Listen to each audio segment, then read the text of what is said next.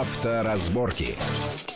Приветствую всех в студии Александр Злобин. Это большая автомобильная программа на радио Вести ФМ. Мы, как всегда, обсуждаем главные автомобильные новости, события, заявления, намерения и все планы, которые рано или поздно, скорее всего, рано, повлияют на нашу без того непростую автомобильную жизнь. Сегодня довольно много скопилось за вот эти после новогодние дни э, событий, заявлений. В частности, объявлено о довольно значительном сокращении числа сотрудников ДПС, которые дежурят на дорогах.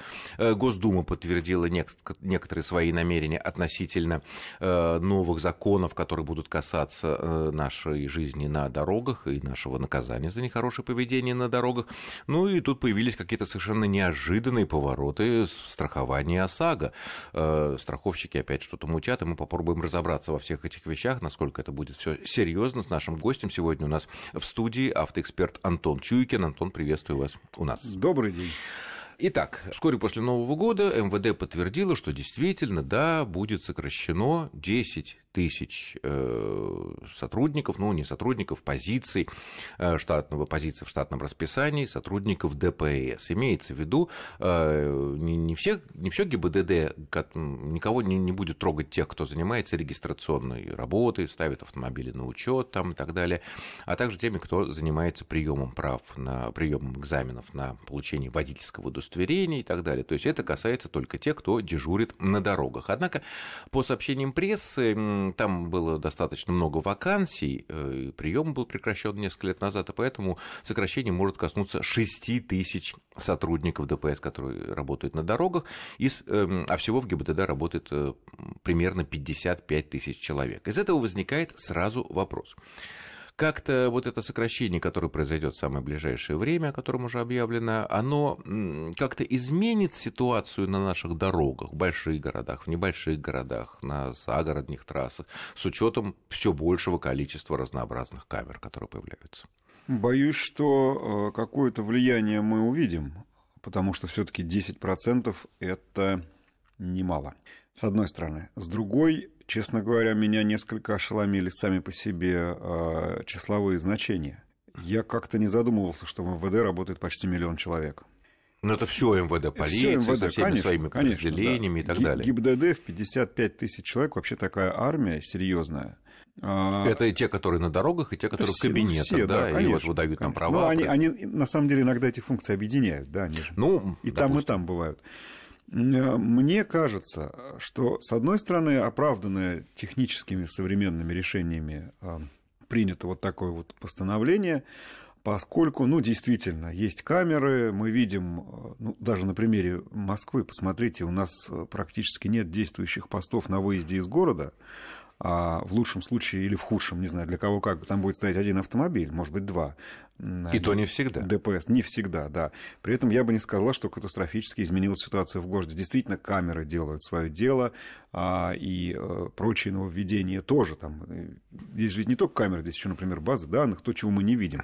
С другой стороны, мне немножко не то, чтобы а, странно, скорее ну, непонятно. Вот следующее решение. Это сокращение не затронет сотрудников регистрационных и экзаменационных подразделений. И вот тут у меня большой вопрос. Друзья мои, но ведь все-таки полиция это такая штука, которая следит за правопорядком. Такой вот классический образ, да, дядя Степа, или неважно, там какой-нибудь там Джон там Блэк или еще кто-нибудь а, в форме, да, если что, на улице, придет на помощь, выручит, обезоружит кого нужно, спасет. Ну, то есть это главная спасет функция. тоже кого нужно, да. Но вдруг мы совершенно не трогаем те функции, с которыми прекрасно справились бы или местные какие-нибудь органы, как это во многих странах других обстоит дело. А в любом случае, или не даже, полиция. пусть даже федеральные, но главное, что это вполне могут быть гражданские служащие. Но зачем человеку То есть люди заканчивать... с присягой, да, с ну, специальным ну, вот образованием. Вот именно, зачем человеку... С офицерским званием. Зачем человеку специальная подготовка, я даже больше скажу, умение классно, а я верю, что это так, умение классно водить машину, умение стрелять, а умение обезоружить э, хулигана или преступника. Зачем оно ему, если он сидит и выписывает права? Причем каждый, кто права получал или продлевал, видел, как дело обстоит. Все равно в этих э, подразделениях большая часть служащих гражданская, и только есть там один, два, три, четыре офицера, функция которых поставить подпись. И все. Может быть, все-таки задуматься и следующее сокращение, а понятно, что это не последнее, провести именно в тех органах, а функции, которые, для которых совершенно не нужно быть офицером ГАИ, передать в иные ну, перв... службы. Первые шаги к этому уже сделаны, по крайней мере, в Москве. Вот с недавних, с недавних пор, если нам нужно по истечении срока давности наших Заменить, действующих да. прав, ну или мы потеряли, да, mm-hmm. то есть не новые получаем, сдаем экзамен, а просто надо заменить да, не, там не первые, на следующие права, 10 да. лет, да, то уже в МФЦ это можно делать, и там, ну, насколько работает. я понимаю, никаких офицеров полиции в принципе нету. А, ну, я не Конечно, сверяют владею... с базой данных да, ГИБДД, базой данных. но непосредственно всю работу делают обычные нормальные гражданские э, женщины, прекрасно все это, и все хвалят эту идею, что это стало достаточно удобно. Ну, э, Хорошо, но вот с другой именно. стороны, с другой стороны возникает вопрос. Вот вроде бы да, камеры фото-видеофиксации, но с другой стороны мы знаем, что самые серьезные наказания, а именно лишение прав э, или там что-то иное, за какие-то очень серьезные правонарушения на дорогах делаются только в том случае, если это зафиксировано сотрудниками ДПС, а не камерами. Камеры максимум 5000 рублей. Более того, э, все эти новые э, законы, ужесточения, которые, вот, скорее всего, в этом году будет против нарушителей принимать Госдума, там тоже прописано, что только исключительно, если это зафиксировано сотрудниками ДПС. Камеры как бы не при делах. И тут мы их сокращаем, да? И получается ли так, не получится ли так, что раздолье будет нарушителем? Некоторые СМИ вообще написали со ссылкой на якобы экспертов, что у нас будет гуляй поле на дорогах, mm. и ловить некому, обратиться некому за помощью, э, и чуть ли люди будут друг другу там кулаками и битами друг друга выяснять отношения после. Вот об этом и речь. Я не то чтобы этого опасаюсь, я думаю, что все-таки у нас достаточно останется сотрудников, а тем более, что ну, мы уже сказали, да, что объявленное сокращение в 10 тысяч, половина из них это все-таки вакансии и так не заполненные. Но, тем не менее, а, вот именно, что в первую очередь нужно оставлять людей, которые будут заниматься профилактикой и пресечением правонарушений на дорогах. Ну, профилактика сейчас, в общем, общем мнение не совсем занимается ДПС на дорогах, а вылавливанием нарушителей. Да, одним своим видом достаточно. Уже, уже тоже профилактика. Понимаете, просто а, сам есть, вид. Но есть... вид можно заменить на фанерных, ну, картонных же... таких вот. Ну, как показывает практика, не всегда. Есть же вопиющие факты. Понимаете, когда мы знаем, что на МКАДе, а, а если не так, пусть меня поправят, но мне говорили, что на МКАДе работает постоянно 2-3 экипажа на 109 километров самой загруженной дороги России. То есть они ездят кругами? А, хорошо, если ездит. Я бы хотел верить, если ездит, но вообще им иногда и обедать нужно, например. А, так вот, там явно мало.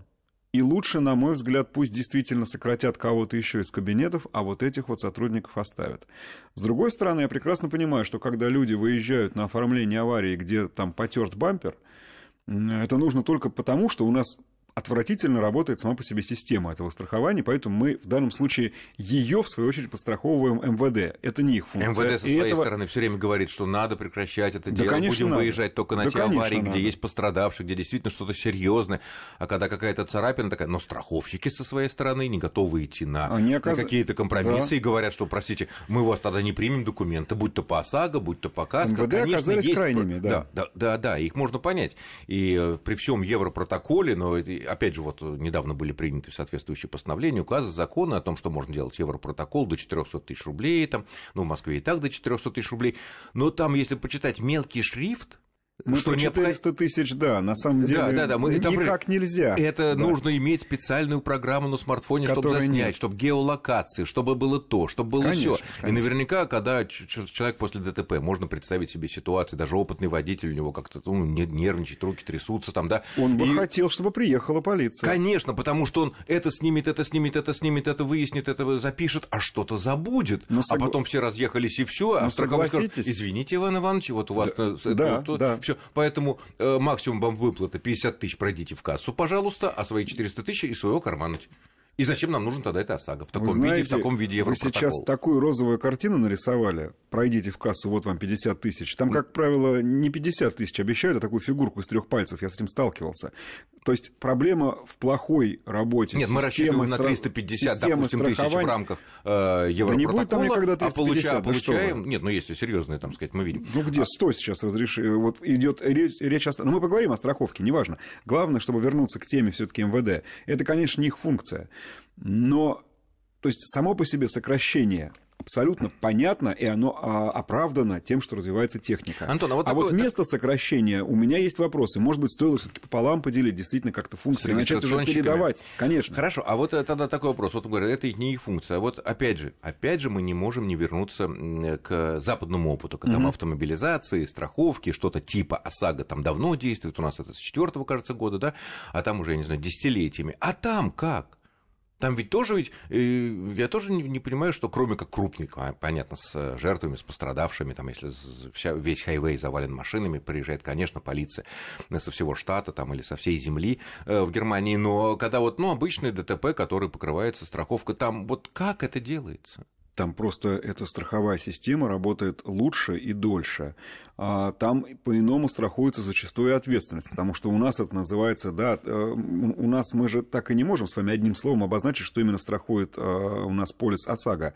Человека или автомобиль? Нашу гражданскую. А, ответственность, чью? да. Человека. Человека в автомобиле, автомобиль. То есть, понимаете, тут вот есть Человека, привязанного да. к конкретному автомобилю. Конечно. С, есть такой-то мощностью, такого-то года, да. такого-то и так Есть далее. система, когда привязывают, когда страховка распространяется именно. Вот у меня есть такая страховка, допустим, и я могу садиться за любой автомобиль она привязана к человеку, да? Это ну, это дороже, и это сложнее. А, ну да. И это, это сложно было у нас предпринять, потому что одна машина, условно говоря, на семью. Поэтому решили страховать автомобиль. Хотя не он сам совершает правонарушение, да, и не он сам а, нуждается в том, чтобы а там, все ему эти, а там на, Западе, есть... в Европе все эти детали как-то давно утрясены, и там поэтому, собственно, не надо на мелочи ну, вызывать думаю, полицейских. Я думаю, что и там не все, но там просто, конечно, это лучше намного работает. Ну, э, там зачастую, кстати говоря, и ставки страховые повыше, чем у нас, а, ну и главным образом, понимаете, у нас-то я не могу избавиться от ощущения, а, что наши страховые, многие страховые компании искренне считали, что ОСАГО это для того, чтобы им заработать.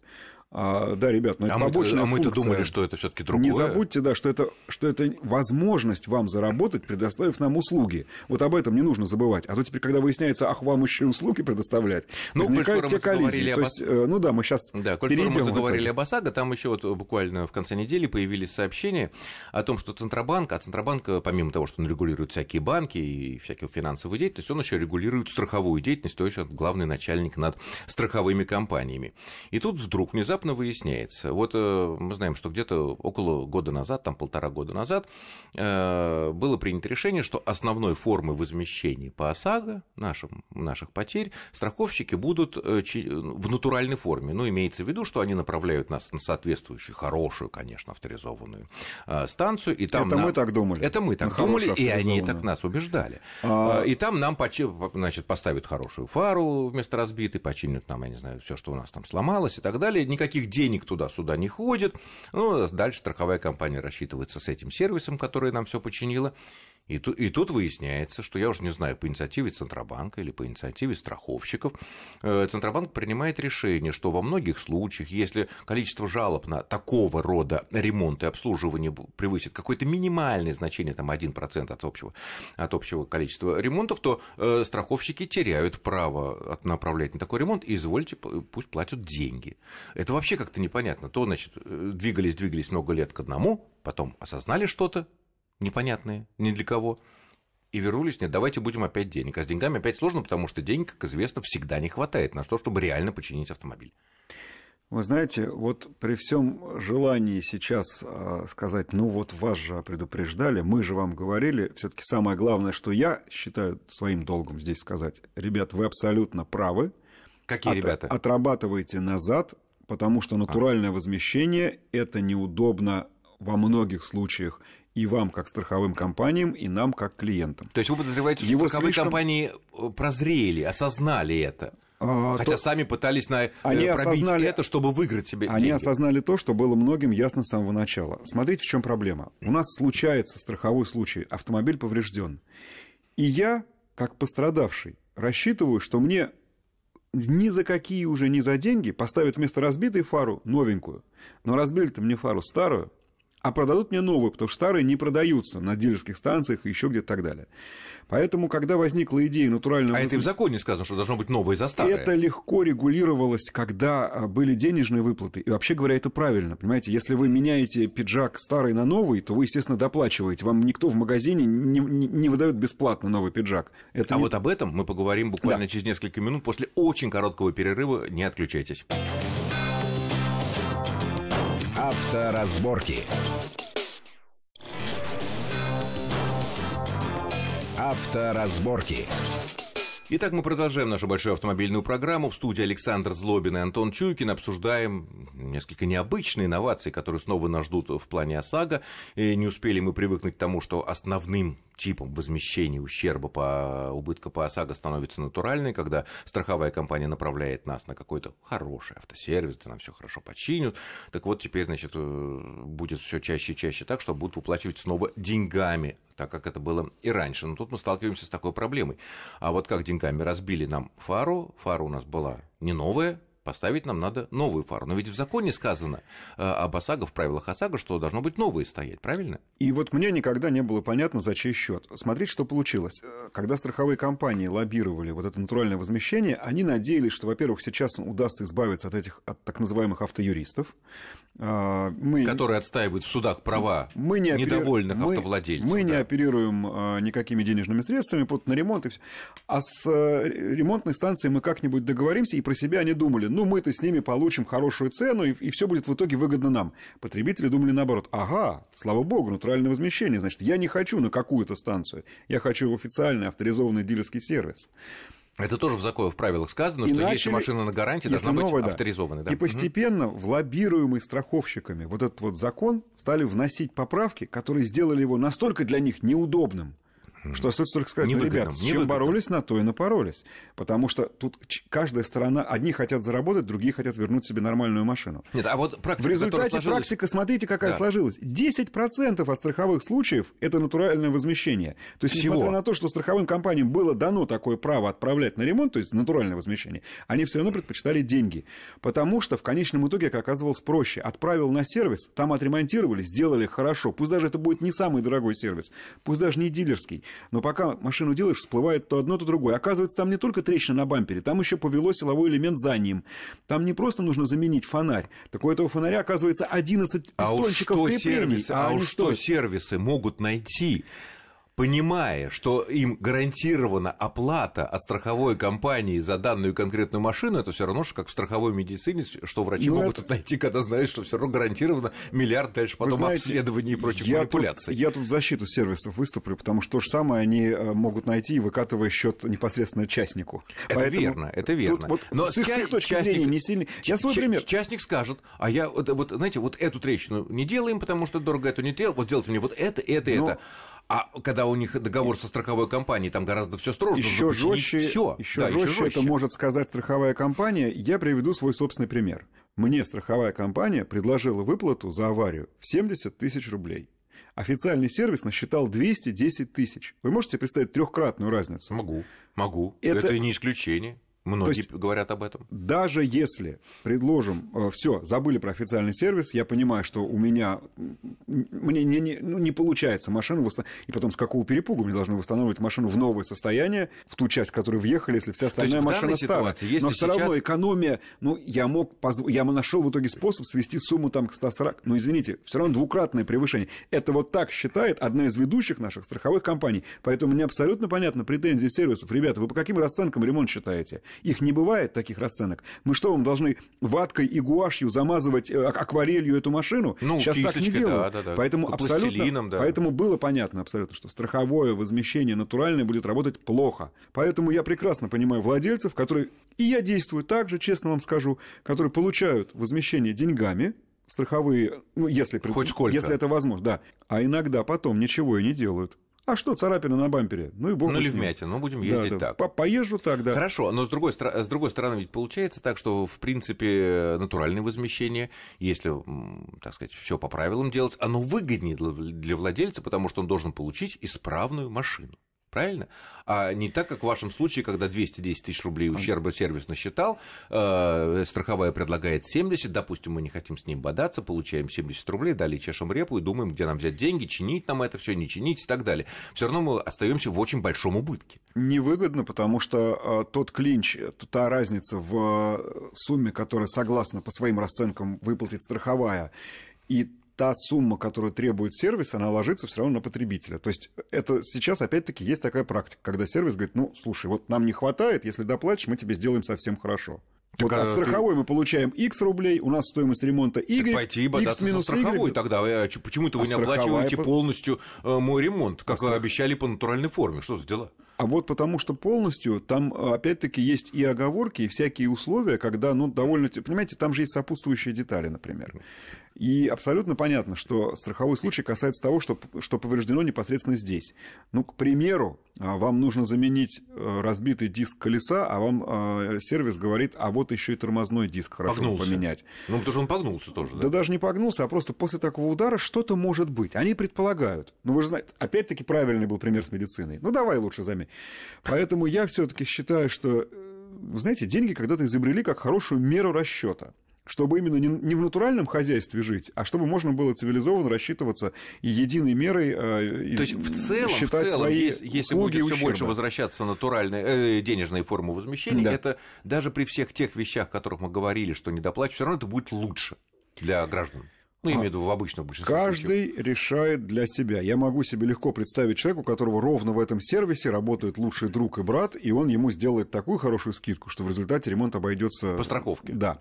Поэтому все бывает. На мой взгляд, здесь. А мы разве можем выбирать э, в бадании со страховой? Вот самое главное, я хотел как раз к этому так. подойти. Вот на мой взгляд, в этом правиле надо изменить э, одно положение, но ровно наоборот выбор должен быть за мной, а не за страховой а сейчас компанией. Э, записано, что выбор за страховой компанией. А, у них записано так, они имеют право предлож... сделать, так? сделать натуральное сделать возмещение. Да. А мы права никакого не имеем. А мы вот... должны принять то предложение, которое нам делают. Мы отказаться от него не можем. Это, конечно, вопрос некоторого обсуждения, но в конечном итоге правда будет за страховой компанией. Даже если будет при, при определенных условиях, да, там некое количество машин, так далее, так ну, далее. Ну, определенно, да. Потому что когда-то только деньги. Так вот, на мой взгляд, это право должно быть за мной. Страховой говорит, или я тебя направляю вот в этот сервис а, Иван Ивановича сыновья. Да, и вам починят там то-то, то-то и Тебе то, ничего не придется платить, они тебе починят, ты про себя молчаливо думаешь, ну, качество может, а может быть нет. А, да. Или они тебе говорят, или мы тебе даем вот 25 рублей, и твое дело, что ты дальше делаешь.